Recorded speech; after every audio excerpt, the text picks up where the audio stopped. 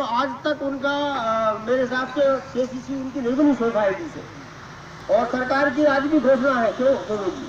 आज भी घोषणा है कि एक लाख दे रहे हैं। तो ये किसान कब सब लेगा साहब? ये झूठे वादे, ये धोखे कब तक किसान झेलेगा और इस तरीके से अगर किसान आज भी एकजुट नहीं होता तो हर बार एक किसान का बच्चा आएगा और किसानों के तवा पर रोटी सेक के और पैसा वाला बन के चला जाएगा। इस समय हमें किसानों को चाहिए कि एकजुट हो। और बड़ी शक्ति के रूप में उभरे ताकि हमारी मांग सरकार को सुननी ही सुननी पड़े। सत्तर परसेंट किसान, देश की जनसंख्या के सत्तर परसेंट लोग किसान हैं। और वो अपनी बात की